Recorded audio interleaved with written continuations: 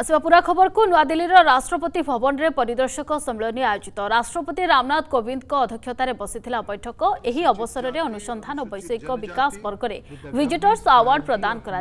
দুই দিনিয়া সম্মিলনীর উচ্চশিক্ষা প্রতিষ্ঠানগুলির আন্তর্জাতীয় মান্যতা একাডেমি ইন্ডস্ট্রি এবং নীতি নির্ণয়কারী মধ্যে সহযোগ প্রযুক্তি বিদ্যার শিক্ষা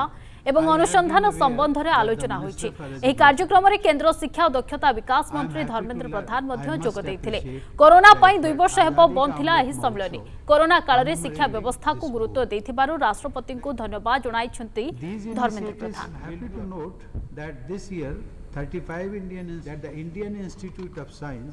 जन